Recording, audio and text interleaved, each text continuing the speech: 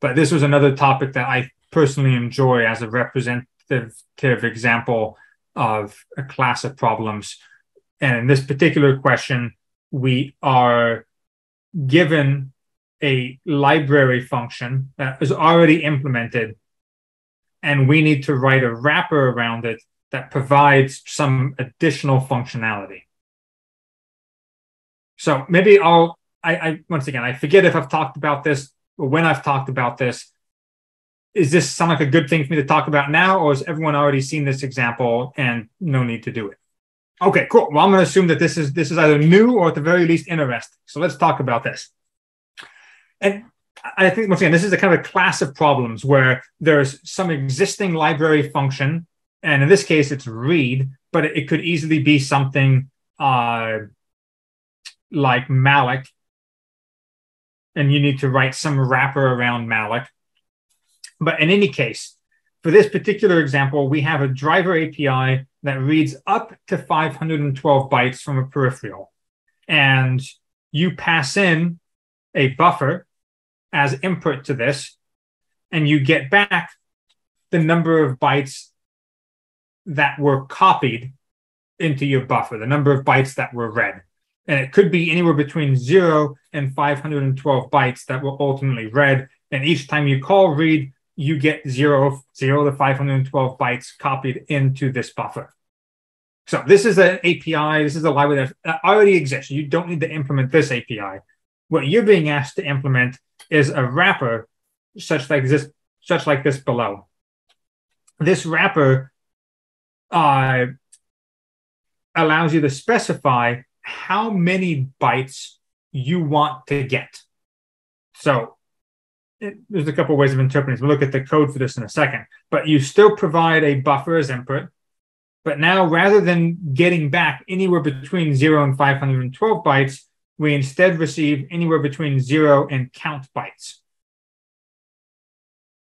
And whether it's zero to count or exactly count is kind of an implementation detail. We can talk about how to do it either way.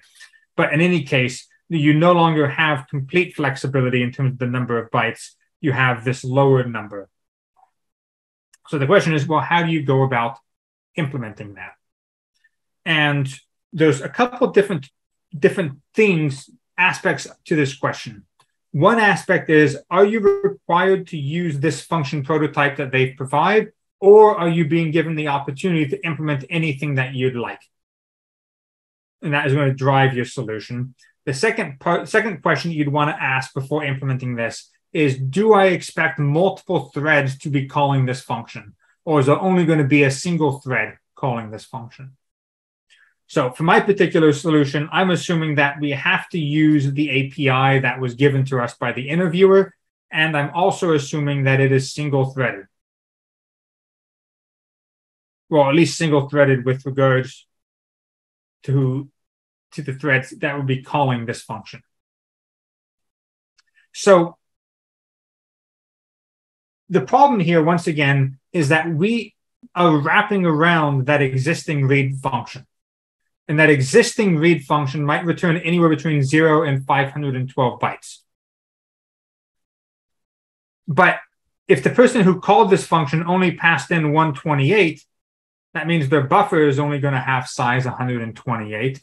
So we wouldn't be able to wrap around read and pass in the original buffer passed in by the client because we might end up reading more than we have space for it which means that all of our reads now need to occur on our own internal buffer.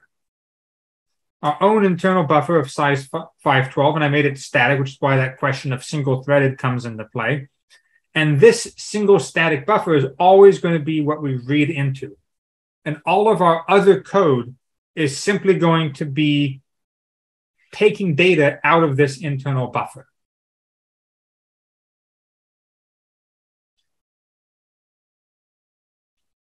the very first time we call this function, we call the function read bytes, no data has been read so far. This internal buffer is empty. The length of the buffer, in terms of how much data is valid in that buffer, is zero. we have not read anything. So the offset, our read offset into that buffer is similarly zero. And now what we want to do is start copying data or start acquiring data and then ultimately copying it into this client's buffer. So for this particular implementation, I am saying that if you pass in a value of 128 for count, then that means you need to return exactly 128 bytes. You're not allowed to return any more. You're not allowed to return any less. So what we're going to do is we have a while loop.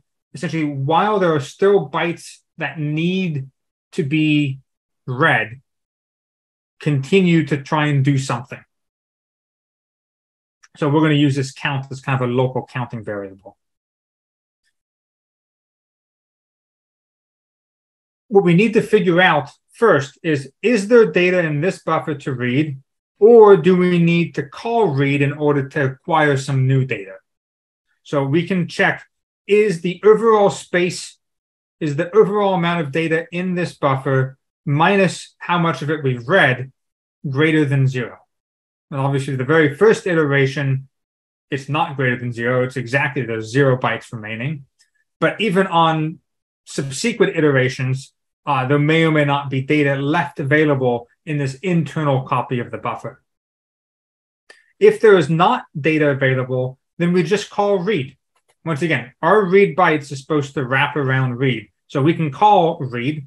We pass in our, switch to highlighter mode. We can pass in our buffer and we store how much data we got back here and also our static variable buffer length. And buffer length is going to be any number between zero and, and uh, what did I say? 512. Now that we've just read this data, the read offset is zero. It's like we've just we've just read, we just acquired the data from the peripheral. We have not yet returned any data from the person who calls read bytes.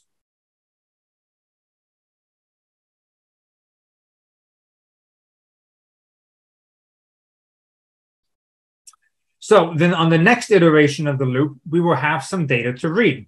The buffer length minus read offset now should have a non-zero amount of data available.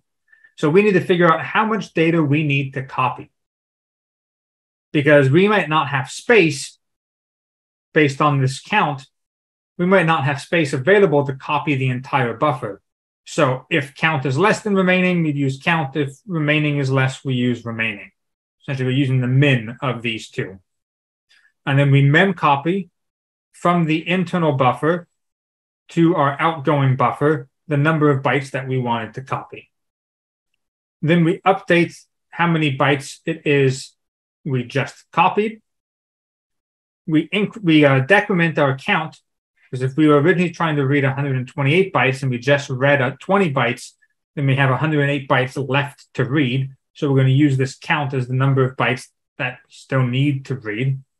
And then we also update our read offset. Because if if the buffer, if the uh, the amount of data we've just read from the buffer isn't all the data left, we need to make sure that the next time someone calls read bytes, this read offset is correct, so we can then read the next data.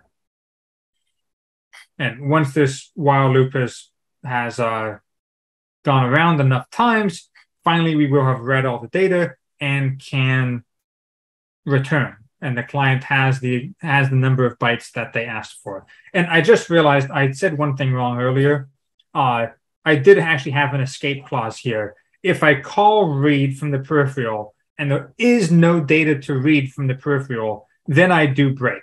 So there is a case where we return less data than was requested but it's only when there was literally no data to read from the peripheral. There was no data backed up. Obviously, we could have gotten rid of this line if we wanted read bytes to be a blocking function such that we always re- returned exactly the number of bytes requested. Sorry, that was a whole lot of me talking. Uh, I apologize for that. But I wanted to make sure I had time to actually go through all of this code. Uh, let's let me let me open up for questions. And first, let me make sure. Do people un- do people understand what it was we were trying to accomplish? Are there any uh, questions about what it was we were trying to accomplish, given this original set of requirements?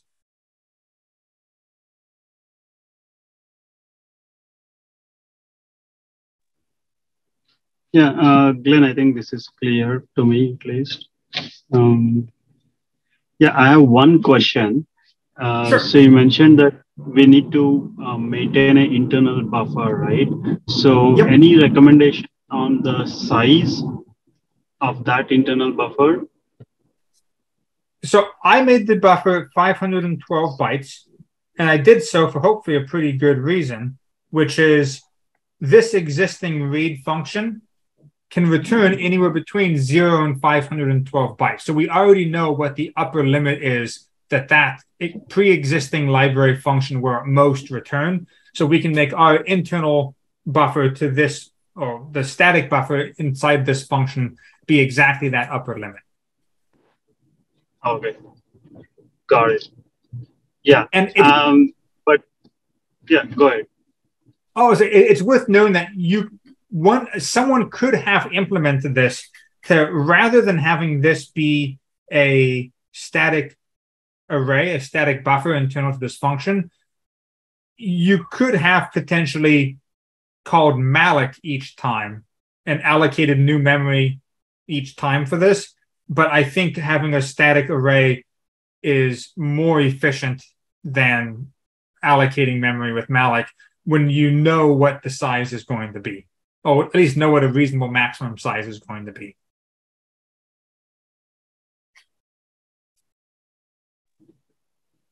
Yeah, uh, got it. Uh, I, I, know you, uh, friend mentioned that you assume that it is a single threaded uh, call.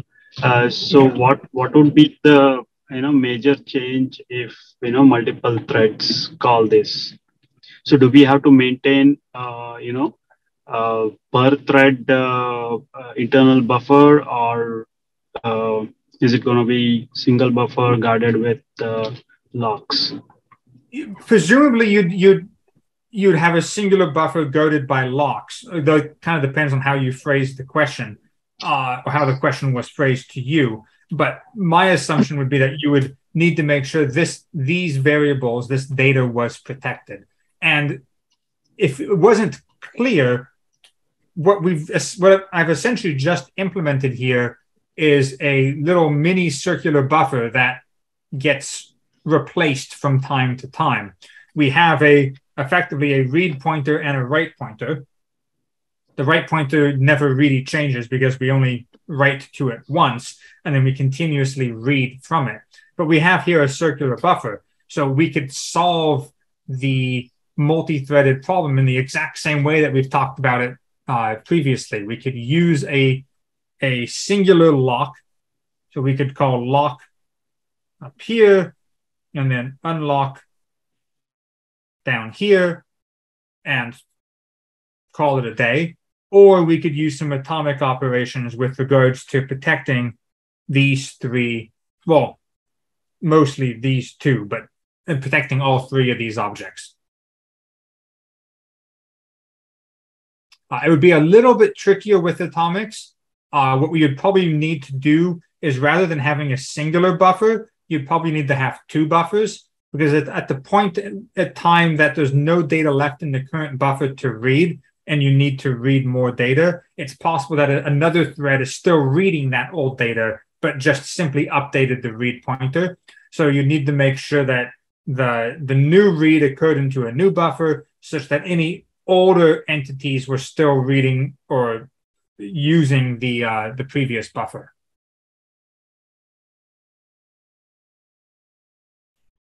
The oh, and the, the, and the pointer to the buffer that we receive, it's, it's assumed that there's memory allocated for that. It's assumed that whoever called this function passed in memory uh, that's at least this large. At least count bytes in length. So yes, uh, and that's I mean, it's a reasonable assumption. If someone if you're trying to implement memcopy you as the implementer simply assume that the output buffer is at least as big as the number of bytes that they've passed in the copy. And there's no good way for you as an implementer of this function to do anything to protect against that. Okay.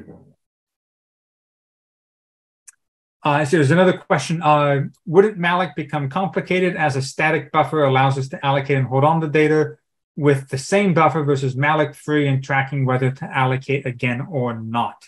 Um, I, I, would say it, well, I, I, don't necessarily think it's any more complicated uh, because, well, and let's say take the, the single thread case we know exactly when it is we're going to read. So we know exactly when it is we can release the old buffer and allocate new buffers.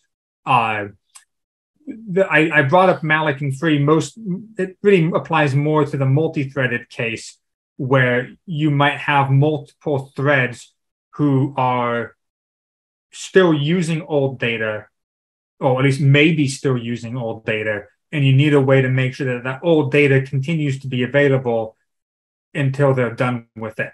So that way you can use malloc to acquire it. And the last entity who is still reading from that old buffer, the last person, whoever it is who reads the, the end of that buffer, is then responsible for calling free on that buffer.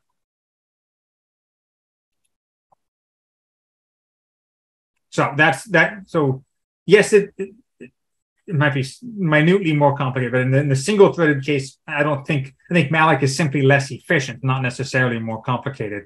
But I think malloc might be, would likely be a, re, a requirement, or at least it would be the obvious way approach to solve the problem in the multi threaded case.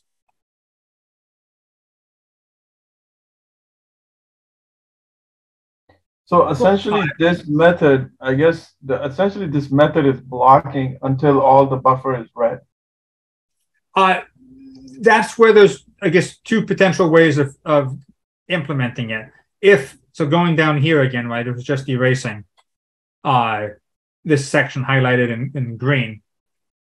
With this there, it will return early. Like it will return potentially prior to count bytes being received. But if we got rid of those lines, then it would be blocking. So this is kind of where uh, you need to get some feedback from the interviewer with regards to what they mean by this. Like, just you need to return count bytes in the buffer. Does that mean you need to return exactly count bytes, or you can potentially return fewer than count bytes? And whether or not the answer is yes or no will affect whether or not you would want to have a line like this in here. Cool. Excellent. Uh, well, it is uh, the end of the session, uh, 10 o'clock California time. Uh, so if, uh, if you guys have any kind of coding questions or thoughts you'd like to share, happy to answer them now. Uh, otherwise, I will look forward to seeing some of you next Sunday and potentially uh, more of you next Tuesday for the next coaching session. All right, cool. Right, well, right, we're not hearing any any more questions. I will uh, uh, bid you all good evening and uh, see you next time. Uh, Glenn, one, Glenn, one last question.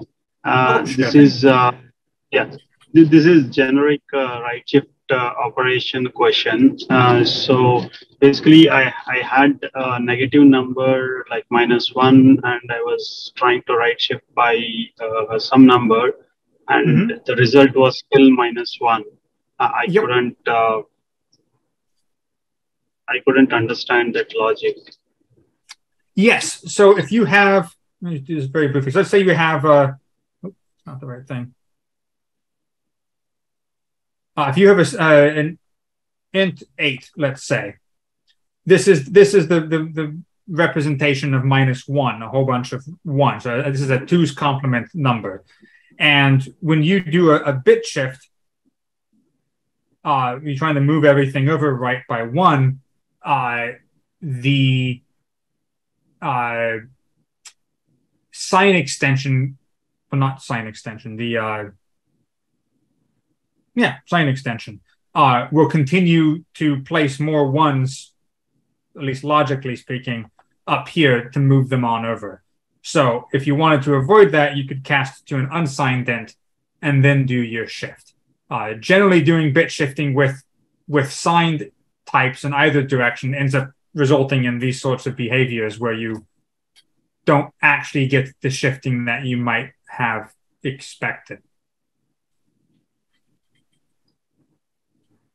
Okay, so it's it's good practice to avoid uh, shifting uh, operation with uh, sign numbers. Uh, that would be my recommendation. I'm, I'm sure there's use cases where you might still want that behavior, but it, well, assuming that you want to avoid it, using the unsigned should be the the safer route.